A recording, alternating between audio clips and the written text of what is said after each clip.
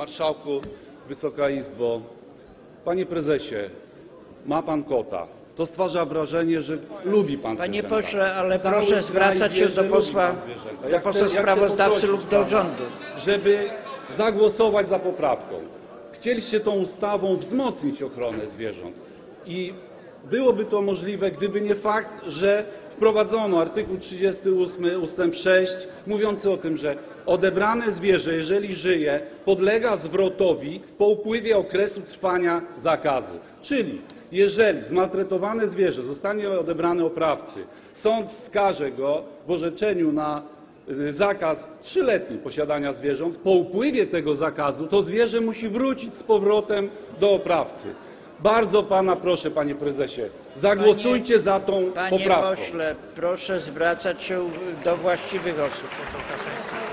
Przypominam, głos ma poseł Panie Jarosław Kaczyński. ja proszę o 5 Jako minut pytanie. przerwy dla klubu.